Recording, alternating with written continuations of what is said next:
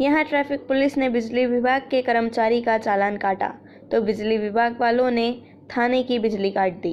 Fault ढूँढने जा रहे श्रीनिवास को पुलिस ने हेलमेट के लिए रोका तो उसने कहा कि मैं टूटा तारा ढूंढ रहा हूँ। देखते देखते गाड़ी चलाना पड़ती है। हेलमेट पहनूँगा तो तारा कैसे ढूंढ पाऊँगा? लाइनमैन ने कहा कि मेरे पास सभी कागज़ थे। मैंने अफसरों से बात भी करवाई थी, लेकिन वो नहीं माने और पाँच सौ रुपये का चालान काट दिया। इससे भड़के बिजली विभाग के थाने पर छापा मार दिया। जाँच में पता चला कि छः लाख बासठ हज़ार रुपये का बिल बकाया है। थाने की बिजली काट दी गई। घंटों की जद्दोजहद के बाद बिजली चालू हुई।